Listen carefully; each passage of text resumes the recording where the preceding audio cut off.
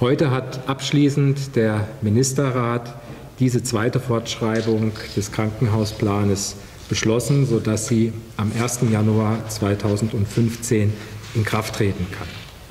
Wir haben insgesamt 18 Betten und 18 Plätze mehr. Plätze, das sind sozusagen die Tagesbehandlungen.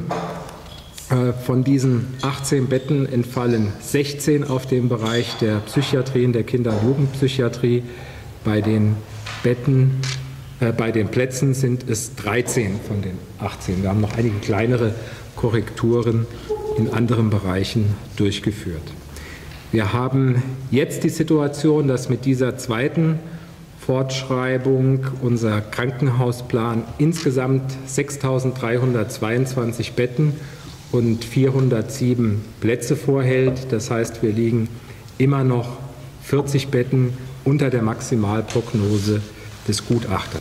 Ich möchte die Gelegenheit nutzen, noch einen Ausblick zu geben auf das, was im Bereich der Krankenhausplanung in den nächsten Monaten bevorsteht. Denn die Krankenhausplanung ist ein kontinuierlicher Prozess.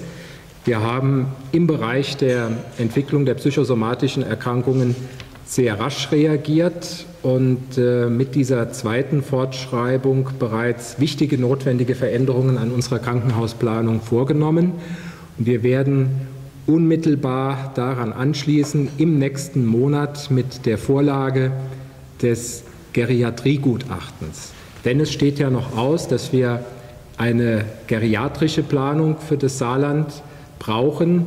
Dazu ist ein Gutachten erstellt worden, das ich dann im Oktober präsentieren werde. Und wir werden dann im Zeitraum von November bis Januar die Gespräche mit den Krankenhausträgern durchführen, sodass im Frühjahr 2015, voraussichtlich kurz vor Ostern, dann auch die Krankenhauskonferenz und der Ministerrat über die Geriatrieplanung und damit die dritte Fortschreibung des Krankenhausplanes beschließen können.